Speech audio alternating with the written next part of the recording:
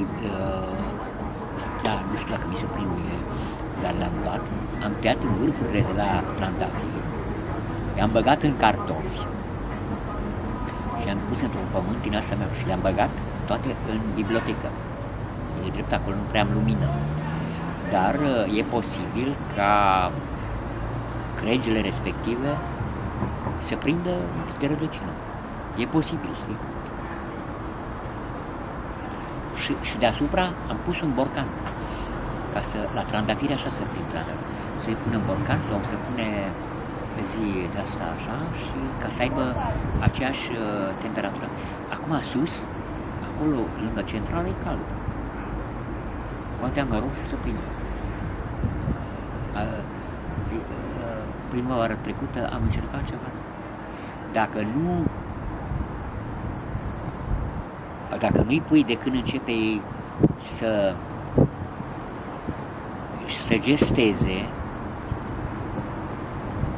poate că așa, poate că ar putea ăsta de ea tăiat, știi? Că ei acum încă gestează. Și când, când e să dea crengi, de-aia trandaverii să tundă. Să tai ori toamna, ori așa iarna. Iarna, spre, adică nu, spre februarie. Martie deja ei încep să dau mult. Și perioada asta cât au încă zăpadă, fric, așa, nu uscat pământul, ă, ă, seva lor circulă și dau, să zic, tinde să iasă afară mugurei și să dea, poate am o să prind, nu știu. Ă, ăsta, Bogdan are trandafir frumos. Mă, aveau un trandafir cât ăsta de mare și l-a tăiat și tot a crescut la fel de mare.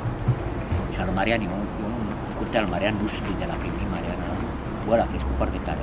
Și mai sunt încă trei care eu i-am cumpărat. La prima oară când îmi dau pe ăsta, trebuie să dau trandafiri jos.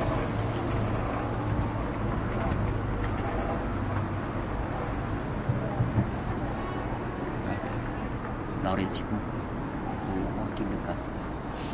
Mi-e frig la picioare, că n-am decât niște ciorap subției și pantofii ăștia sunt de de vară.